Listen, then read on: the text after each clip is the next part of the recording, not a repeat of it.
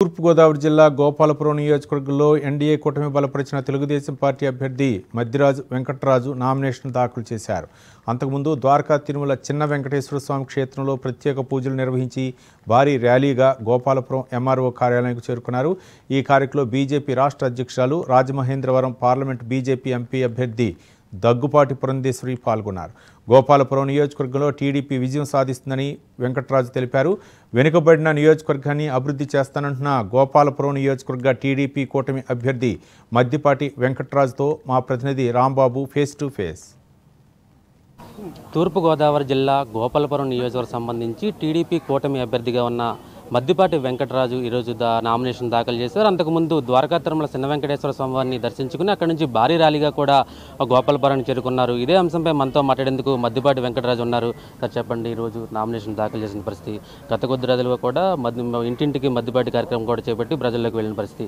అదే ప్రధానంగా ఇటువంటి కార్యాచరణతో ఇక నుంచి ముందుకు వెళ్ళబోతున్నారు. అంటే ప్రజల్లో మేము ఒక మంచి చైతన్యం తీసుకురాగలిగామని నమ్మకం కలిగింది. ఎందుకంటే ఈ రోజున ఏడు గంటలకు ప్రారంభమై ద్వారకా తిరుమలలో మా అంచనా ప్రకారం పది గంటలకల్లా ఇక్కడ ఆర్ఓ ఆఫీస్కి వచ్చేసి నామినేషన్ దాఖలు చేయాలనుకున్నప్పుడు ఏడు గంటలకు ప్రారంభమైంది ఒంటి గంటకు రాగలిగాం. అంటే సుమారు ఆరు గంటల సేపు నిర్విరామంగా ఈ మండు టెండల్లో ర్యాలీ కొనసాగుతూనే ఉంది.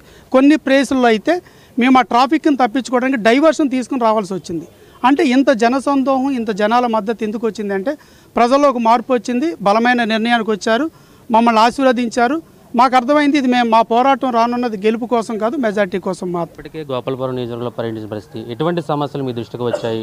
టీడీపీ ప్రభుత్వం వచ్చాక ఆ సమస్యలపై ఎలా ఎలాగ చేస్తారు? అంటే గోపాలపురం నియోజకవర్గం ప్రత్యేకమైందండి. ఇది పూర్తిగా వ్యవసాయ ఆధారితమైన నియోజకవర్గం.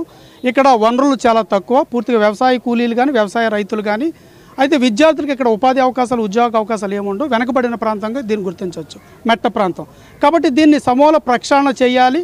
ఒక పారదర్శక పాలన తీసుకురావాలి. దీనికి మాకు ఒక విజన్ ఉంది. ఆ విజన్తో ముందుకు అటు రైతులకు కానీ ఇటు కార్మికులకు కానీ రైతు కూలీలకు కానీ మహిళలకు కానీ విద్యార్థులకు యువకులకు ఉపాధి ఉద్యోగ అవకాశాలు కానీ వీటన్నిటి మీద ఒక స్పష్టమైన అభిప్రాయాలతో స్పష్టమైన కార్యాచరణతో ముందుకెళ్ళబోతున్నాం. గోపాలపురం నియోజకవర్గంలో వైసీపీ ప్రభుత్వంలో అన్ని ప్ర- అన్ని కార్యక్రమాలు మేమే చేపట్టాం అభివృద్ధి అభివృద్ధి కూడా చేపట్టాము.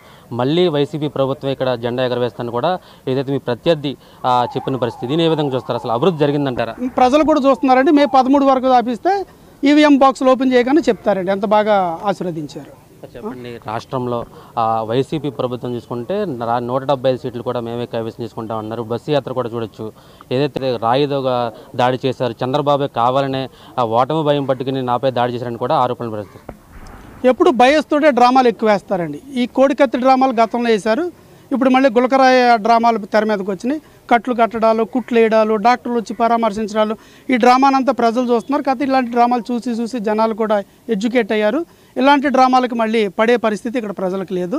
ఓటమి భయంతో ఇలాంటి డ్రామాలు తెర మీదకి వస్తున్నాయండి సార్ ప్రధానంగా ఈ గోపాలపురం నియోజక ప్రజలకు ఎటువంటి హామీతో మీరు ముందుకు సాగుతారు? అంటే అదే చెప్తున్నాను ఇందాకే చెప్పాను ఆల్రెడీ. అంటే ఇది పూర్తిగా వెనకబడిన ప్రాంతం అండి. దీనికి ఇక్కడ ఆదాయ వనరులు లేని ప్రాంతం ఇది. దీన్ని చాలా ఒక పగడ్బందీ వ్యూహంతో ప్రణాళికలతో ముందుకెళ్తేనే దీన్ని అభివృద్ధి చేయగలుగుతాం. ఒక స్పష్టమైన ప్రణాళికలు మా దగ్గర ఉన్నాయి.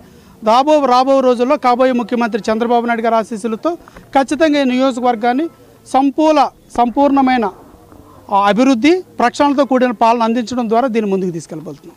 ఏదైతే రాష్ట్రంలో టీడీపీ కూటమి విజయం సత్యమని అదేవిధంగా గోపాలపురం నియోజకవర్గంలో కూడా విజయం సాధిస్తామని వెనకబడిన గోపాలపురం నియోజకవర్గాన్ని టీడీపీ కూటమి ప్రభుత్వంలో అభివృద్ధి బట్టలు నింపుతామని కూడా మద్దిపాటి వెంకటరాజు స్పష్టం చేశారు. ఇది ఇక్కడ తాజా పరిస్థితి. కెమెరా పర్సన్ ఆర్కేతో రాంబాబు సివిఆర్ న్యూస్ గోపాలపురం నుంచి.